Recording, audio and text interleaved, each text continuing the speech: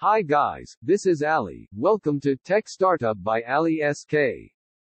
In today's session, we will learn how to get started with mobile automation using Appium. So, first of all, you need to make sure you have all prerequisites installed, such as Appium, Appium Inspector and the dependencies you will be using.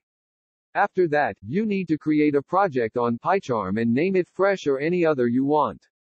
Then, you need to create a Python package like this and name it first test like I did. Secondly, you need to add a Python file which will be your spec definition file, from here.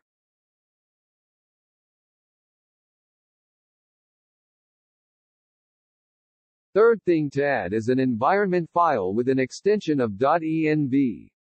This environment file basically holds your AVD details, path of the application you will be using and the Appium session details according to your device.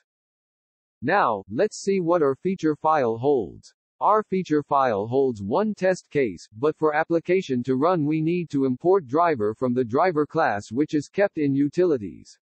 If you press Ctrl and click on the name, it will redirect you to the actual function where you can see the definition of that function or class. Now, let's see our launch app function. I am again pressing Ctrl and clicking on the function and it takes me here towards the function definition.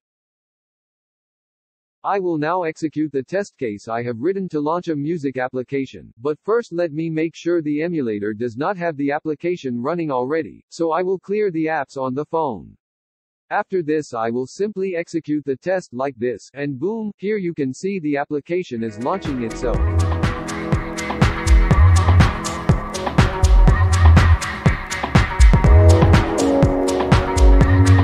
You can also see the output of the test run within the test output window in PyCharm. Thank you for watching, don't forget to subscribe.